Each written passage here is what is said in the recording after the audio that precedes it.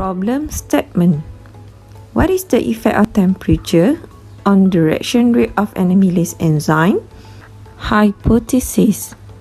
An increase in temperature increases the reaction rate of amylase enzyme up to an optimum temperature. The reaction rate of an enzyme decreases after the optimum temperature.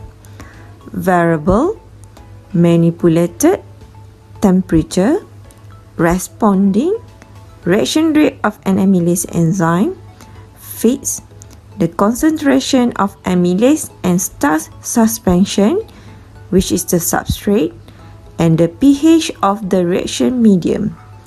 Material 1% starch suspension 0.5% amylase enzyme solution iodine solution ice and filtered water. Apparatus beaker test tube syringe dropper glass rod white groove tile thermometer test tube rack and stopwatch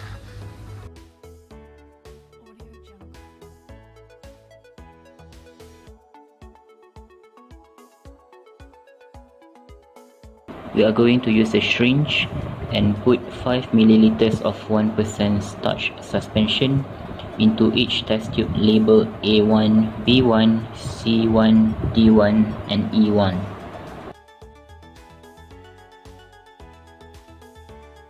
Using another syringe, we put 2 milliliters of amylase enzyme solution in each test tube labeled A2, B2, C2, D2 and E2.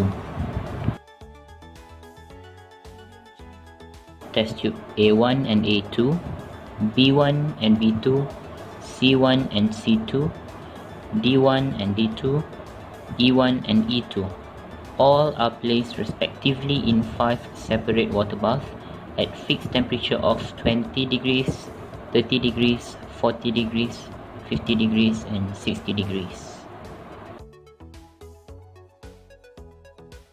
We incubate all test tubes for 5 minutes. We prepare a dry white groove tile and put a drop of iodine solution into the tile. After incubation,